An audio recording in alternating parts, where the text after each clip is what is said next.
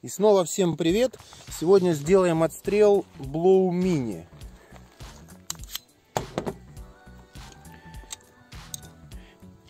Снарядим три патрона ОЗК, в смысле Оскурзан. И посмотрим, как работает малыш.